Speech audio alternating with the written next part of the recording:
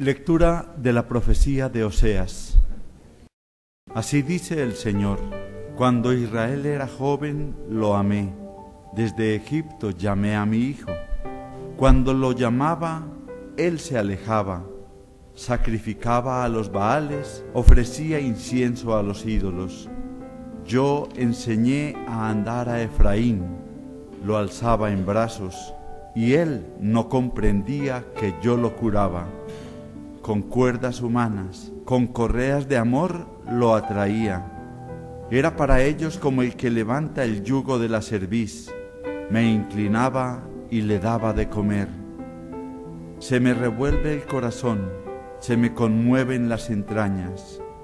No cederé al ardor de mi cólera, no volveré a destruir a Efraín, que yo soy Dios y no hombre, santo en medio de ti y no enemigo a la puerta.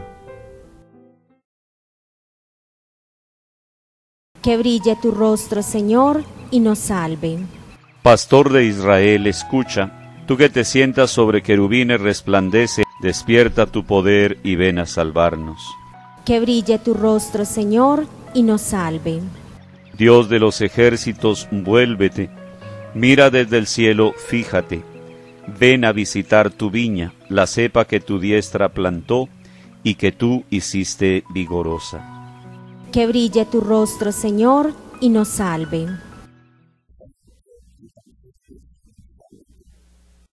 En aquel tiempo dijo Jesús a sus apóstoles, Id y proclamad que el reino de los cielos está cerca. Curad enfermos, resucitad muertos, limpiad leprosos, echad demonios. Lo que habéis recibido gratis, dadlo gratis.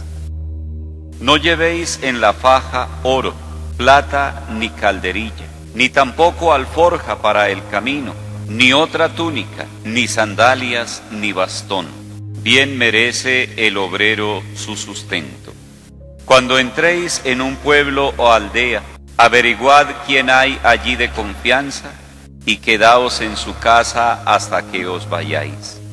Al entrar en una casa, saludad.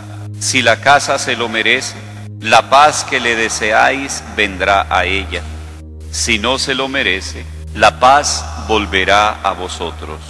Si alguno no os recibe o no os escucha, al salir de su casa o del pueblo, sacudid el polvo de los pies. Os aseguro que aquel día del juicio le será más llevadero a Sodoma y a Gomorra que a aquel pueblo.